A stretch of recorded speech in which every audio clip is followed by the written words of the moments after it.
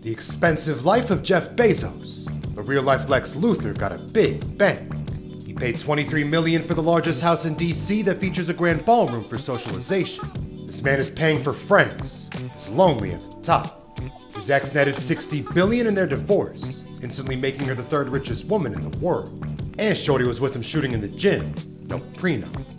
He flies a Gulfstream jet worth 65 mil that circulates fresh air every two minutes. His stroke game reaches Mach 12 speeds in the Mile High Club. He has a net worth of over 200 billion dollars. That's double the economy of Sri Lanka. His jumper is wetter than a tsunami, stupid. He's building a $42 million clock inside of a mountain that's set to last 10,000 years. Because time is money, and that's a trash use of both. Money may not buy you happiness, but can have you go from selling books to selling whatever the fuck you want.